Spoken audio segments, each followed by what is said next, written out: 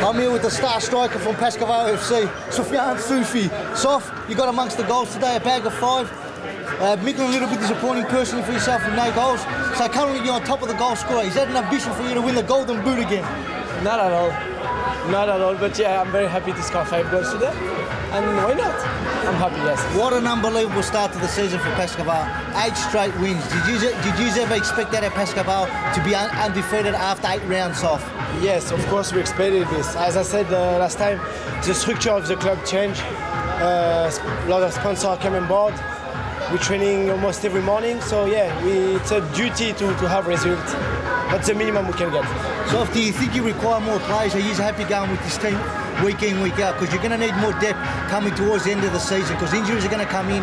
Obviously, players' commitments going away. Is there more players going to come into this great Pascoe Vale team?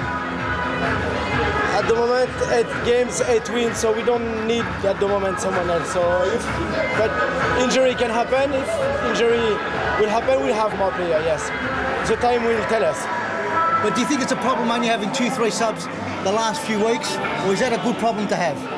No, I think it's a fair number to have uh, eight players, three, four on the bench. It's a good number.